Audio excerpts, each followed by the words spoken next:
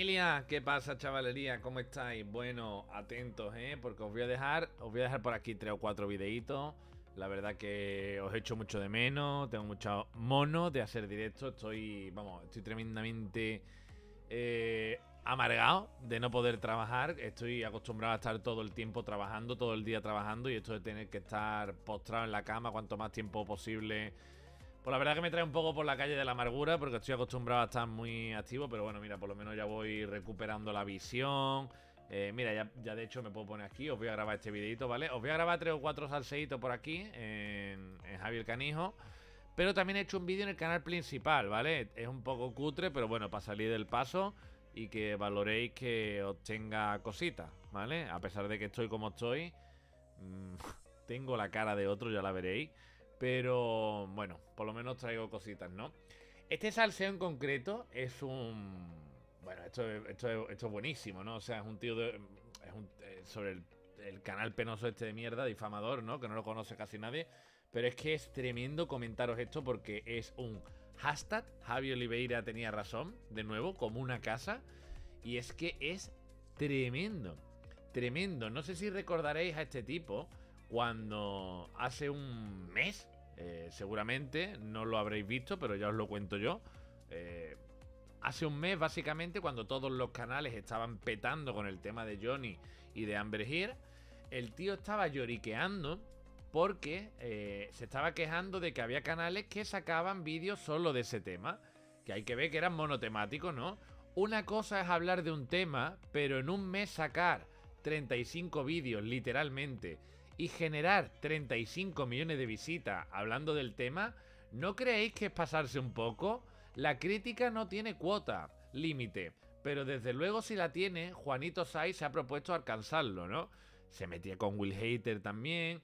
A ver, eh, el tema de Amber y de Johnny, literalmente, nosotros en mi canal principal también sacamos muchos vídeos.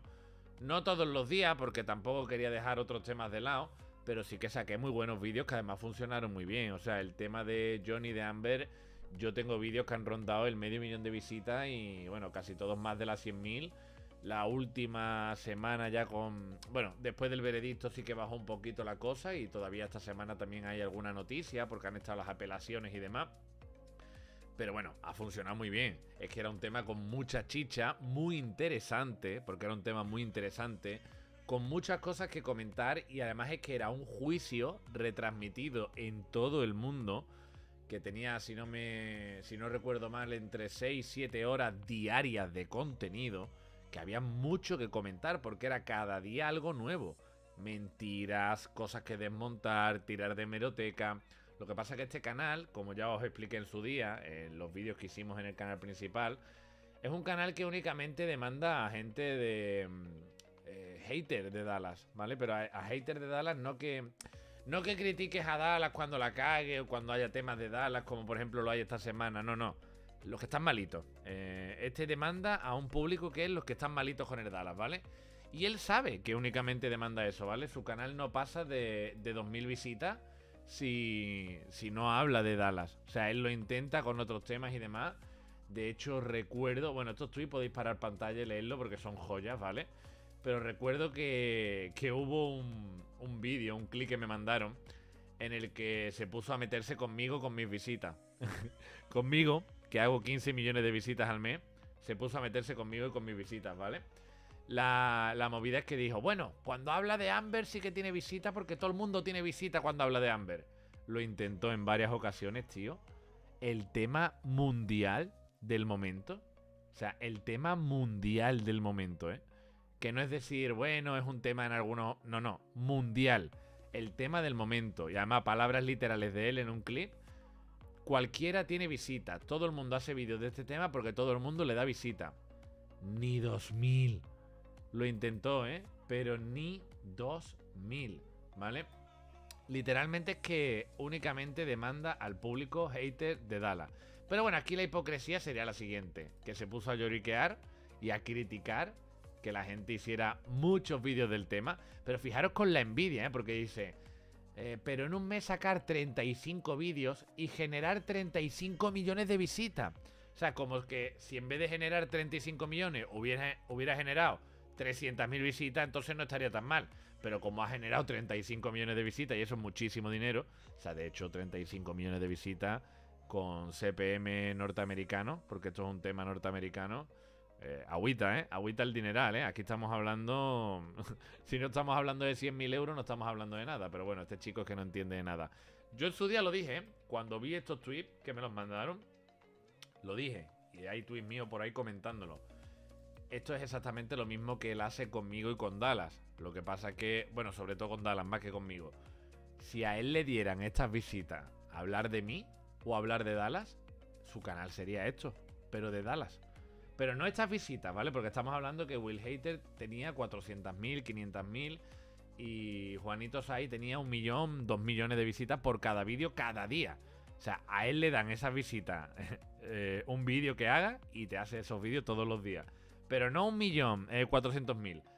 Lo que yo dije en su día fue, si a él le diera un vídeo de Dallas 10, 20.000 visitas, no se baja del tema. ¿Y qué os parece, familia, lo que ha pasado? Lo que ha pasado para mi sorpresa. Bueno, para mi sorpresa no. lo que ha pasado que yo ya lo sabía.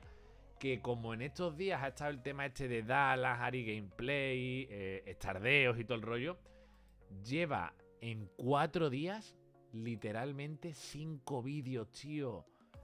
Literalmente cinco vídeos. Porque le está pillando más de lo normal. O sea, el tío tiene unas 2.000 visitas normalmente, 1.500, 2.000 visitas.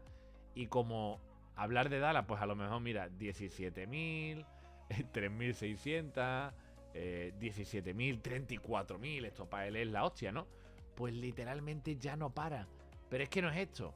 Es que acaba de sacar otro. o sea, que es que ya su canal... Es que nada más que puede hablar de esto. O sea, es que literalmente, mira, eh, literalmente no os voy a poner su canal, ¿vale? Demasiado public le estamos dando ya. Pero literalmente, vídeos de. Del chico este que maltrató a la novia en TikTok el otro día. Vídeos de Verdelis. Vídeos de Ibai. Lo que sea, 2000 visitas. Vídeo de Dala. Pum. ¿Por qué? Porque dice lo que quieren escuchar los haters. Ni más ni menos. Ni más ni menos, ¿vale? Esto es una crítica que sí que es verdad que Dallas está haciendo en estos días cosas que yo no las comparto tampoco. Por lo tanto, las estoy criticando también, ¿vale? Pero eh, este chico, si Dallas lo que estuviera haciendo no fuera criticable, le estaría dando la vuelta o se lo inventaría o ya haría algún tipo de gimnasia mental para criticarlo, ¿vale? Porque vale, él, demanda a este público, ¿no? Y esto, una vez más, hasta Javi Oliveira tenía razón. O sea, ¿cómo tienes los huevos de criticar a Juanito Sai? Y ya te digo yo a ti, que si tú tienes más de 10.000 visitas en este vídeo, mañana, pasado y el otro, vuelves a sacar vídeo de Dallas. Ay, pero es que Dallas la está cagando todos los días. Ya, pero es que Amber, es que Amber todos los días en el juicio hacía el ridículo. Es que todos los días en el juicio se, sacaban temas nuevos y se descubrían mentiras nuevas. Y eran 8 horas de contenido a cuál mejor. Un tema muy interesante, pero claro, para eso tienes que tener cabeza, ¿vale? Eh, tú de aquí no sales. Tú de aquí no sales. Pero hay una cosa que me ha llamado mucho la atención y esto me lo ha recuperado, bueno, me la, me la ha recopilado Luares y me la ha mandado, ¿vale? Ya sabéis que, bueno, ahora mismo no estoy para, mucha recopilación, ¿no? Pero hay una cosa que me ha llamado la atención, ¿no? Y es cómo sigue desde la última vez. ¿Os acordáis que estuvimos viendo unos tweets que les puso a miar no sé qué? Pues me ha recopilado Luares este documento en el que el tío está codeándose con la aracnefobia, con el kido, pero unos tweets además que dan mucho cringe. O sea, podéis parar la pantalla, pero en plan como queriendo coleguear. O sea, este tío no tiene personalidad. Este tío va, eh, su sueño es ser youtuber y quiere lograrlo de alguna forma. Ya lleva muchos años, está desesperado. Y mira, aquí le habla a la madre de mi área. O sea, sin estar etiquetada, aquí le abra. Por lo tanto, ya seguramente hablen en privado, le haya dado follow, cualquier cosa, ¿vale? O sea, este tío ha puesto verde a Miare y a su familia en muchas ocasiones. Mira, aquí, ¿lo ves? Estos que se siguen. Estos que se siguen, ¿vale? O sea, esto es increíble y flipante. Pero es humillante a ambos lados, ¿vale? Mira, aquí veis, con aranefobia ya tiene, bueno, un pleno colegueo, ¿no? Eh, aquí con Miare a cada momento intentando buscarle que Miare le dé like. Estos fueron los tweets que comentamos, que dan un cringe tremendo por parte de Laserland, ¿no? Eh, fijaros este, ¿verdad? Este. Buenos días, me he despertado esta mañana en Austin, Texas. Ayer por la noche con todo el eh, gelazo me fui a pasear. No sé qué, no sé qué es esto. Me imagino que será algún evento o algún viaje que haya hecho con Winmichu o lo que sea, ¿no? Y te está diciendo Miare que está en Texas. Fijaros el tweet del Laserle. Decirme que esto no es de estar obsesionadito, ¿vale? Eh, para, para buscarse la amistad de esta gente. Hay un chiste que no quiero hacer sobre el estado de Estados Unidos en el que estás, pero es de reconocer que me está costando mucho contenerme. Se está refiriendo a Dallas. Texas, Dallas. Y Miare le da like.